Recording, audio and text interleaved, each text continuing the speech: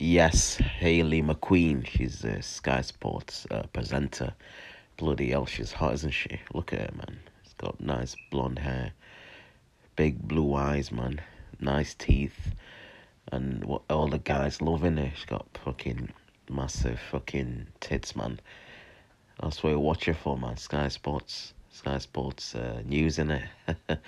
so yeah, man, she's hot, isn't she? I think she's Scottish as well, isn't she? Hayley McQueen. I'm sure she is. Can't remember or English, one of them.